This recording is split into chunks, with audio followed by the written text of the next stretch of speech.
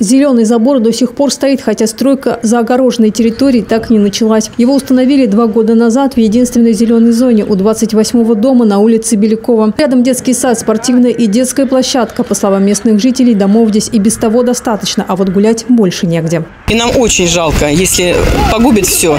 И так все приходит в негодность, а парк очень жалко отдавать. Зеленый парк состоит в основном из берез. У каждого дерева своя история. Остались вот эти все пожилые совсем люди, которые сажали это все. И, и в общем, они душой болеют, чтобы это все не, не уничтожалось.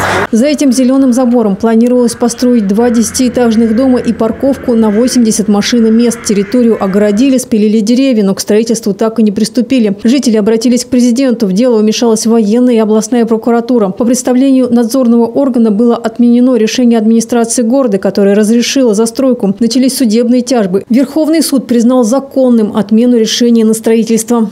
Городок, он так э, населенный пункт, смотрите какой, все очень плотно застроено.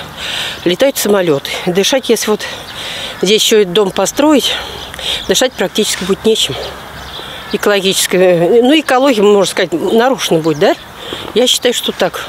Правильно люди, что говорят, что надо сделать там зеленую зону парк. Я тоже с этим согласна.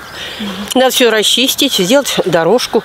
И действительно можно было вечером погулять с детьми. А так вот практически посмотришь, здесь дом стоит на доме, здесь погулять негде. Татьяна часто ходит в парк гулять с внуками. Она считает, это решение Верховного суда небольшая, но важная победа жителей Дягилева. Осталось только убрать забор, благоустроить территорию, и улица Белякова получит свой парк, о котором так давно мечтают все жители. Дина Ислеева, Дмитрий Ефимов, телекомпания «Город».